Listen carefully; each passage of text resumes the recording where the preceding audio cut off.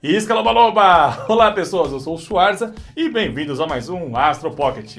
E hoje eu fiz uma lista com algumas coisas que farão você entrar numa crise existencial. Porque é legal entrar numa crise existencial de vez em quando, né? E tem uma coisa que se você para para pensar, você acaba entrando numa crise existencial, não tem jeito.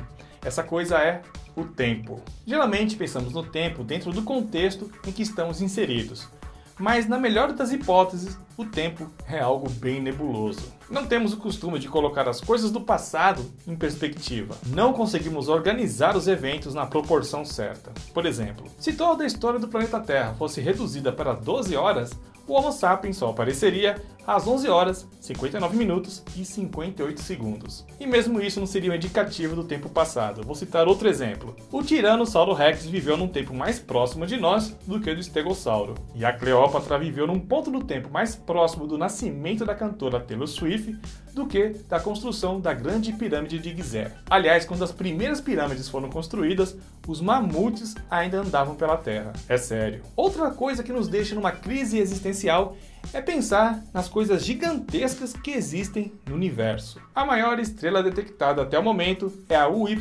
Scout.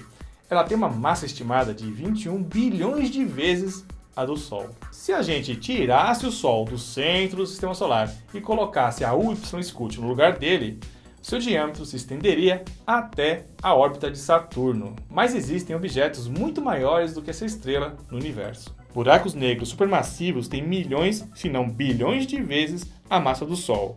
O maior buraco negro já detectado teria um raio estimado em 63 bilhões de quilômetros, o suficiente para tornar o sistema solar algo insignificante. Nós não somos nada perto disso. Outra coisa para dar um nó no seu cérebro.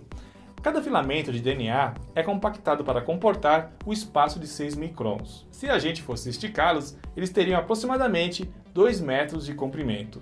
E ainda dentro desse tema, um adulto tem cerca de 160 mil quilômetros de vasos sanguíneos no corpo, algo que é suficiente para percorrer em torno do Equador quatro vezes. Imagina só isso, tem uma coisa dentro de você que conseguiria dar quatro voltas em torno da Terra.